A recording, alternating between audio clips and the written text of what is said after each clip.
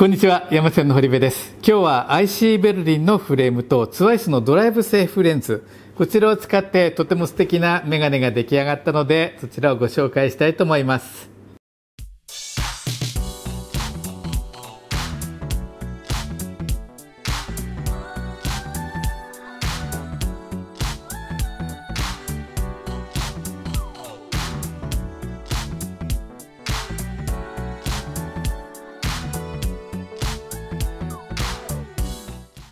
こちらが今日出来上がったメガネになります。フレームは IC ベルリンのアンジェラ N ですね。ちょっとねカクカクっとしたちょっと四角いイメージのメガネになります。えそして、えこちらのねレンズ幅が 51mm そしてブリッジ幅が 16mm えフレーム PD がですね 67mm ですね。この中心から中心までの距離が 67mm になります。えメガネとしては少し小ぶりな部類に入ると思います。小顔の方や女性の方にねとてもマッチングするフレームデザインです。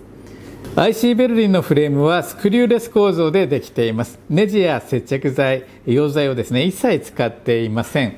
全部ねこう組み合わせでできています。シンプルですけどもとても考えられたデザインと構造になっています。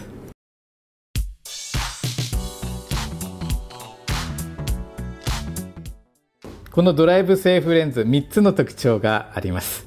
まず1つ目はですね薄暗くなりますよね。運転をしていて薄暗くなった時にですねより良い視界を、えー、見ることができるルミナンステクノロジーというものになっています。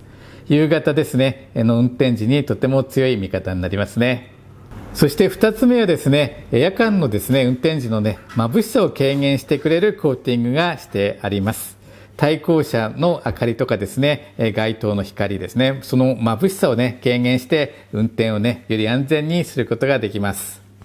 そして3つ目ですね、3つ目には見たいところをより素早くですね、えー、見るレンズデザインになっています。えー、遠方を見たり、そしてケーキを見たり、そしてナビを見たり、見たい部分をね、より正確に素早く見ることができるデザインです。そしてこちらのドライブセーフレンズですね、常用レンズですね、運転時以外にもですね、使ってとても快適に使うことができるレンズになっています。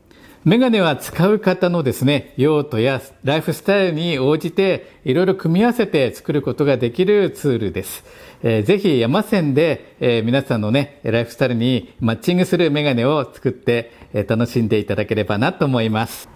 メガネの話題やサングラスの話題、そして自分の好きなことや趣味なんかを動画にしてアップしてます。ぜひチャンネル登録をお願いします。そしてこの動画を気に入っていただいたら、いいねボタンもよろしくお願いいたします。楽しみにお待ちしてます。ではまた。